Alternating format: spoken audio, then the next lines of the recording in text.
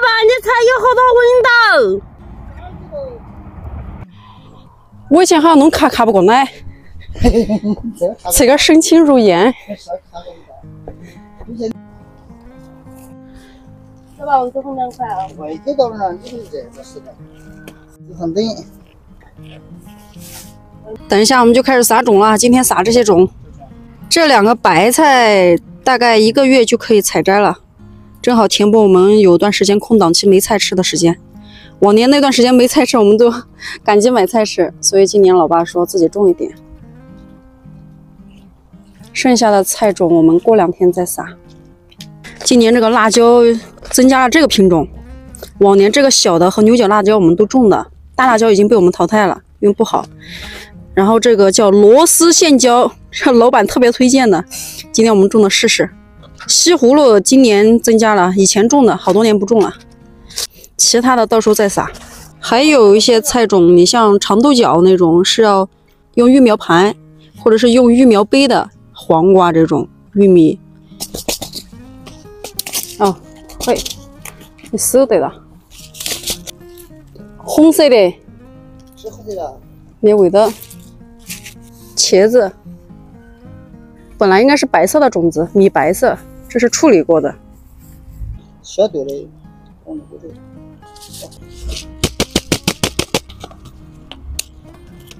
辣椒里面还有个宝贝儿，小宝贝儿，这里面也是红色的。辣椒种子。辣椒很贵的，这个三十五一包，就这么一点。情谊啊，哪有情谊是？谁谁的情谊啊？啊，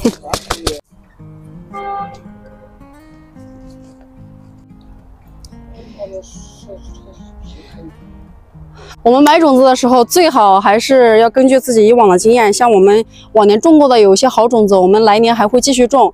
但是有时候它可能会换名字，就比如说今年的香烟二十一号，最好还是买这家公司旗下的你种过的觉得还不错的。如果没有的话，继续买这家公司旗下其他的新产品是可以的。最好不要换，而且就是越有保障的。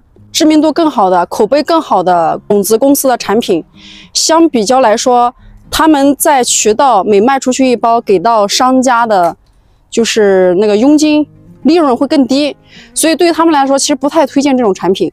嗯，对于商家来说，他们更愿意推利润高的产品，特别是那种新品牌刚上市的，可能口碑知名度不如一些一些老牌子的好，但是商家他会给你推。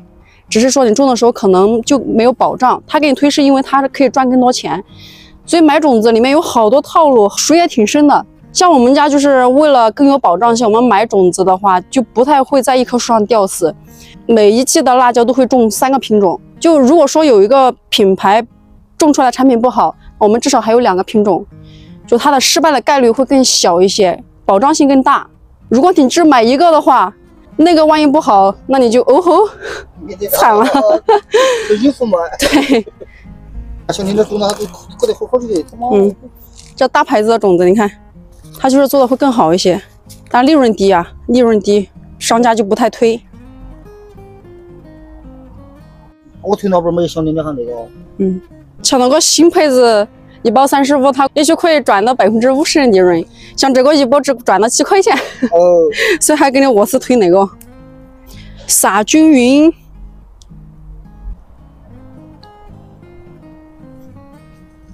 我们这个这包装会插在地里，不然时间久了就忘了。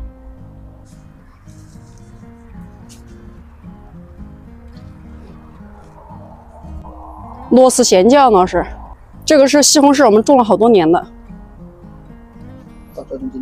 牌子也很老的，就这一包是最贵的，是我们所有种子当中最贵的一包种子了。西红柿也没多少，你看就这么一点点，没味道。哇，哦，苦瓜像瓜子的感觉。还要再放到那个育苗杯里面去的，还要。现在只是放在地里面让它催芽，到时候长出来小苗苗之后，我们再放到育苗杯里面壮苗，不泡种，我们所有的种子都不泡的。温度湿度合适的情况下，自然自己会发苗的。壮苗了之后再移栽。因为这个泡了之后，虽然它的发芽率可能会好一些，但是后续的长势不如这种直接自然发芽的，所以后来我们都不泡了。泡的不保鲜，农家粪水，这个是发酵后的粪水，可以直接用的，露天的。这混不出。哎呀，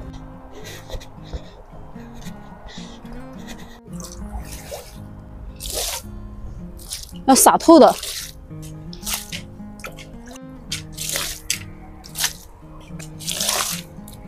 好臭！它自己特制的营养土，里面加了有草木灰、火土灰。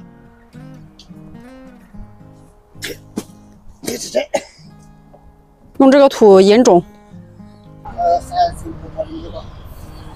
用火土灰撒种的话，它发芽率会更好。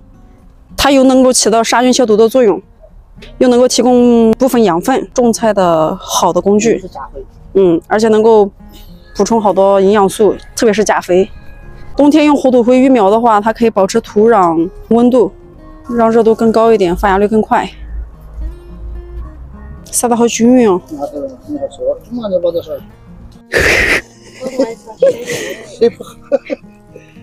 撒均匀，玩泥巴，撒均匀。这是个扎起来，用扎起来看不是对噻？啊，这混好臭哦！我不晓得，还有我用啊，那个旋儿碱，小姐，但这里好像还没有是农业的。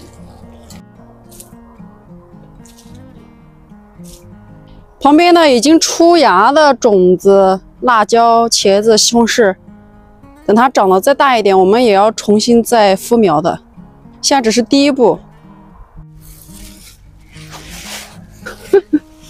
跟 谁家的？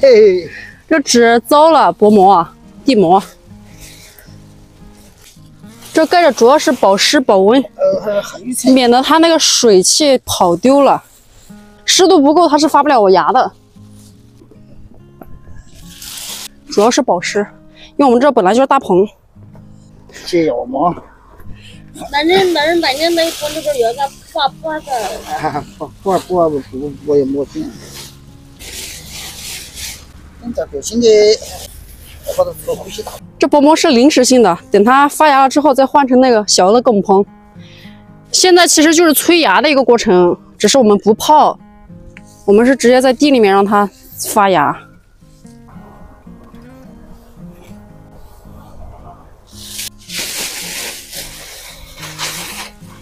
这里今天我们就弄完了啊，明天我们再继续种那边的胡萝卜和茼蒿菜，我们要摘了，到时候种白菜两边，然后中间的话种红苋菜和西红柿，是这么规划的。